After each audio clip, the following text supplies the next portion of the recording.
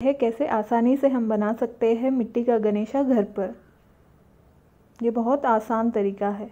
इसके लिए हमें चाहिए होगा एक न्यूज़पेपर, टूथपिक, क्ले और पानी। हम क्ले के अलग अलग हिस्सों के हिसाब से अलग अलग पार्ट बनाएँगे इस तरह। तो सबसे पहले हम बनाएँगे प्लेटफॉर्म। ये प्लेटफॉर्म इसलिए है ताकि हम इस पर गणेशा को बिठा सकें। ये बहुत इम्पोर्टेंट पार्ट है। तो इसे आपको अच्छे से बनाना है और इसमें ही ज़्यादा से ज़्यादा आप क्ले यूज़ कीजिएगा। आप इसको स्ट्रेट बनाने के लिए, एकदम सीधा बनाने के लिए पानी का इस्तेमाल कर सकते हैं। थोड़ा थोड़ा जैसे हाथों पे बस छू कर पानी आपको लगाना है। बस हाथ गीला करना है और इस पर रगड़ देना है थोड़ा सा हल्के हाथों से। इसके बाद हम लेंगे पेट के लिए एक गोल आकार में क्ले और उसके ऊपर थोड़ा सा इस आकार से हम क्ले लेंगे। ये ऊपर वाला पार्ट छाती के लिए है। हमें इन दोनों भागों को एक बनाना है। इसके लिए हम इसे आकार देंगे अच्छे से। इस तरह आप उसको अच्छे से आकार दे सकते हैं। ये सबसे इंपॉर्टेंट पार्ट है। अगर ये गिर गया तो आपका सारा आकार गिर सकता है, पूरा स्टैचू इसके लिए हम टूथपिक का इस्तेमाल करके इसे बेस पे लगा रहे हैं। जो प्लेटफॉर्म आपने बनाया है, उसके साथ हमेशा जुड़े रहने के लिए हमने टूथपिक का इस्तेमाल किया है। अब फिर से आप अच्छे से इसका आकार बनाइएगा ताकि ये पेट और छाती का रूप ले ले। इसके लिए आप हाथ गीले करके फिर से उसे अच्छे से आकार दीजिए। इसे हमें एक हिस्सा बनाना है। देखिए, इस तरह आप गीले हाथों से उसे अच्छे से आकार दे सकते हैं। इसके बाद हम गणेश जी के पैर बनाएँगे। गणेश जी के पैर बनाने के लिए थोड़ा क्ले लेके उसे रोल की तरह बनाना है आपको। उसका जो लास्ट वाला पार्ट होगा, जो निचला हिस्सा, बस उसे आपको थोड़ा सा कम क्ले में लगाना है। देखिए, इस तरह आप उसे चिपका दीजिए। चिपकाने के लिए आपको फिर से गीले हाथों से उसे मेन भाग के साथ रगड़ना है, थोड़ा धीरे, हल्के हाथों से।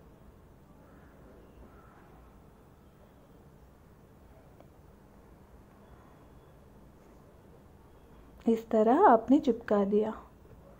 फिर हम दूसरा पैर लगा देंगे। आप गणेश जी के जो पैर के जो नाखून है, उस पर हम पेंट करते हुए उनको आकार दे सकते हैं। अभी हम बेसिक में बना सकते हैं। इस तरह हमने दूसरा पैर भी चिपका दिया।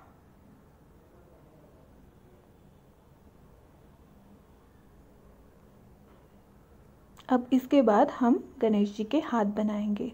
जो उनका राइट हैंड होगा, जो आशीर्वाद देने के लिए बना होगा, उसे हम इस तरह बनाएँगे। पहले स्ट्रेट लेके उसे थोड़ा मोड़ देंगे। देखिए। गीले हाथों से आपको उसे, जो मेन शरीर है उससे चिपका देना है। बस थोड़ा थोड़ा हल्के हाथों से रगड़ना है। अब हम दूसरा हाथ जिसमें गणेशा लड्डू खाएँगे और हाथ में लड्डू रखेंगे, वो भी लगा देंगे, इस तरह। देखिए, अब वो लग नहीं रहा है तो इसके लिए आपको फिर से गीले हाथों से उसको लगा देना है मेन पार्ट से, जो कि है उनका पेट और छाती।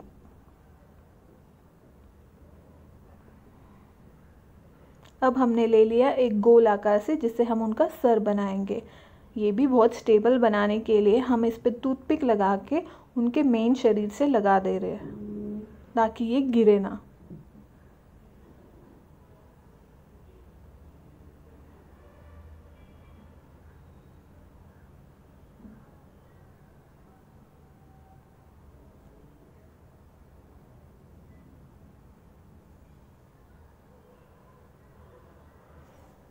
तो इस तरह नेक्स्ट हम इनके सून लगाएँगे।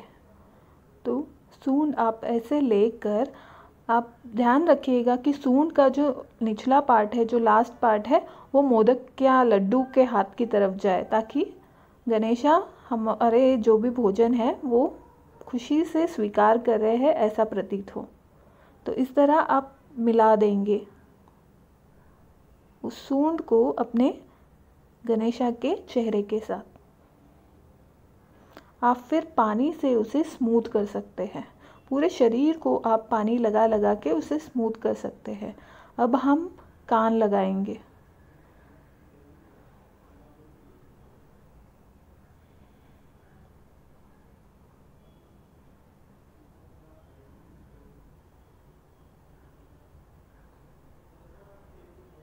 कान में यूजुअली एक पापड़ की तरह शेप देती हूँ छोटे छोटे पापड़ की तरह और फिर उसे लगा देती हूँ। आप चाहे तो उसे शार्प एजेस भी दे सकते हैं। तो इस तरह वो पीछे से भी दिखेगा दिखेगा।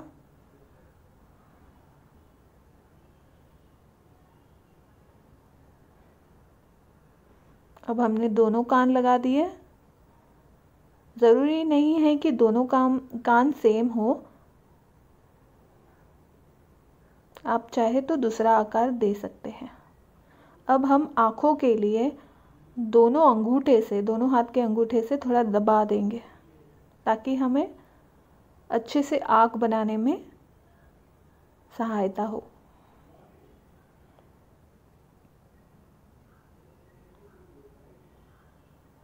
देखिए, इस तरह।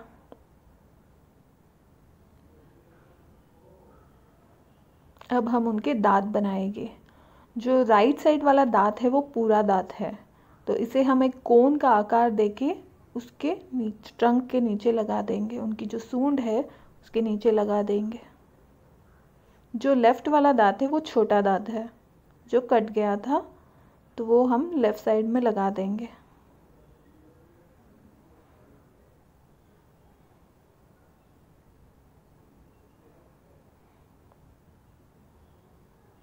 देखिए, अब इस तरह दिखेगा आपका गणेशा।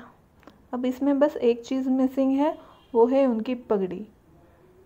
लेकिन उससे पहले हम इसे पूरी तरह स्टेबल कर देंगे, क्योंकि ये ऑलमोस्ट कंप्लीट है।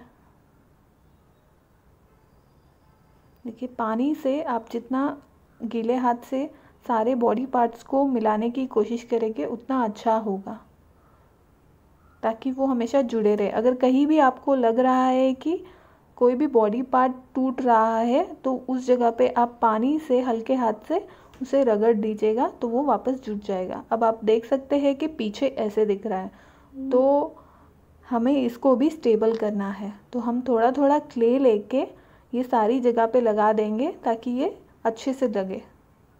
देखिए, इस तरह हम गीले हाथ से क्ले लेकर उसे अच्छे से स्टेबल बना दे।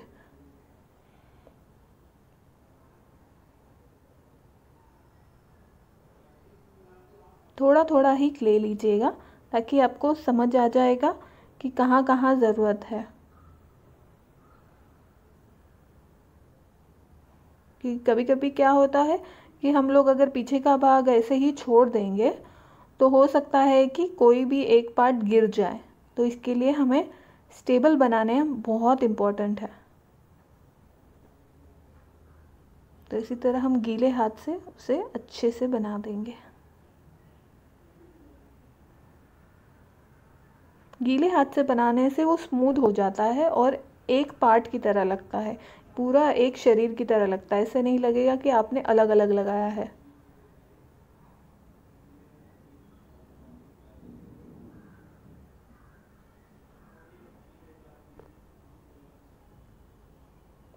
अब हम उनकी पगड़ी बनाएँगे। आप चाहिए तो अपने आकार का, अपने पसंद का कोई भी ताज बना सकते हैं, पगड़ी बना सकते हैं, अपनी मर्ज़ी से।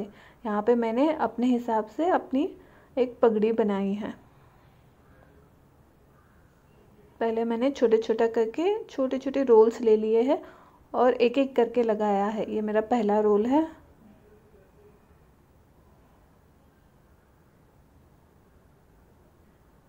इसके ऊपर मैं दूसरा रोल लगाऊँगी, फिर तीसरा। कुल मिला के तीन रोल्स लगा दूँगी। बहुत ही हल्के हाथों से कीजिएगा।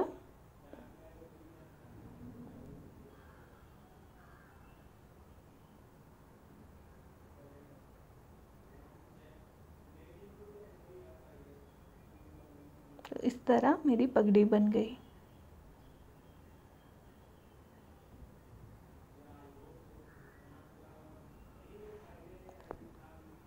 देखिए, इस तरह पूरा गणेशा तैयार हो गया। अब हम इसे कलर करेंगे। तो कलर करने के लिए मैंने स्प्रे लिया है।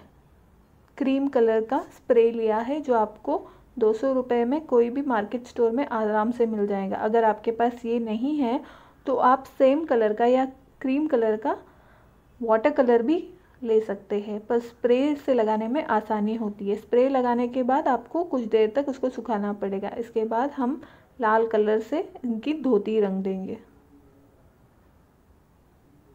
मैंने यहाँ लाल कलर लिया है। आप चाहे तो पीला या ऑरेंज ग्रीन कुछ भी ले सकते हैं अपने पसंद का। तो हमने धोती अच्छे से रंग दी है। और पगड़ी भी मैंने सेम कलर की की है ताकि मैचिंग हो जाए। हो सकता है कि स्प्रे की वजह से थोड़े थोड़े डॉट्स आ जाए, क्योंकि वो स्प्रे थोड़ा इलास्टिक टाइप का होता है। तो फिर आपको ये लाल कलर रगड़ते रहना है उस पर ज़्यादा कलर का यूज़ नहीं होगा, बहुत कम ही लगता है। इसके बाद हम काले रंग से प्लेटफॉर्म को कलर करेंगे। जो उनका बेस है, अच्छे से हम उनको कलर कर देंगे। थोड़े थोड़े छीटे आ जाते हैं स्प्रे के वजह से कि स्प्रे का कलर और ऊपर आके थोड़ा थोड़ा दिखता है। तो इसके लिए आपको बस जो आपका कलर है, जैसे मैं अभी काला कर रही हूँ, उसे आपको अच्छे से लगाना है।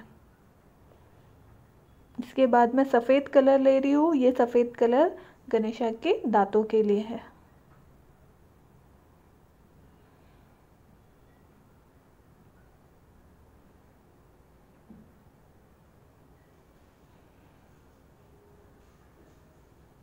सफ़ेद कलर आपको थोड़ा ज़्यादा लगाना पड़ेगा क्योंकि क्रीम कलर की वजह से सफ़ेद कलर उतना उठ के नहीं दिखता है। तो अगर आप ज़्यादा लगाएँगे तो अच्छे से दिखेगा।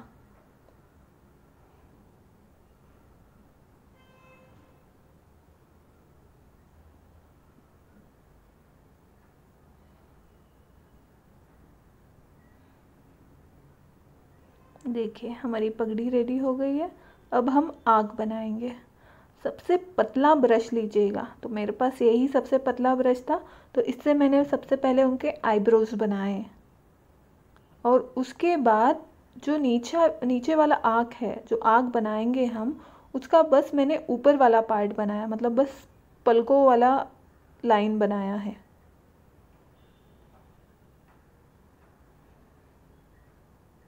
देखिए इस तरह। बस आपको ये दो चीज़ बनाने हैं। दोनों तरफ़ बना दीजिए। क्योंकि हम लोग जो मेन आँख है, उसके लिए हम कुछ और यूज़ करेंगे, ताकि वो और उभर के दिखे।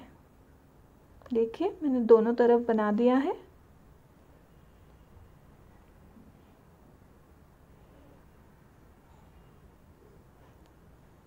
इसके बाद मैंने कोशिश की है कि थोड़ा सा सफ़ेद रंग कर दूँ, ताकि जो आई बॉल्स है वो अच्छे से दिखे। तो दोनों तरफ़ मैंने थोड़ा सा सफ़ेद रंग से रंग दिया है।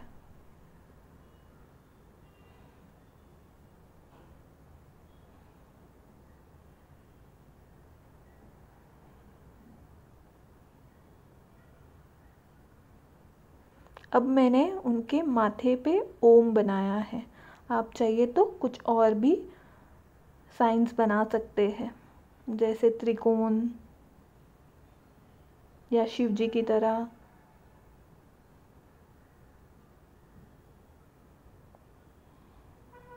इसके बाद मैंने लड्डू को भी रंग दिया है। सूंड पर मैंने लाल रंग से लाइंस बना दिए हैं, ताकि उनके स्ट्रेचेस दिखे। और उनके नाखूनों पे, जो पैर और हाथ के नाखून हैं, उस पर भी लाल रंग दिया है। और ये मैं जनेऊ लगा रही हूँ। कोई भी धागा ले लीजिएगा आप और उस पर लगा दीजिए इस तरह। आप जनेऊ को वाइट कलर में रंग भी सकते हैं। तो मैंने आपको जैसे कहा था कि आँखों के लिए आप स्टिकर यूज़ कर सकते हैं ताकि वो उभर के आ जाए। मैंने यहाँ काला स्टिकर यूज़ किया है तो आप भी सेम यूज़ कर सकते हैं। देखिए, इस तरह हमारे प्यारे गणेशा रेडी हो गए हैं। आपको अगर मेरा चैनल पसंद आया तो प्लीज़ सब्सक्राइब कीजिए।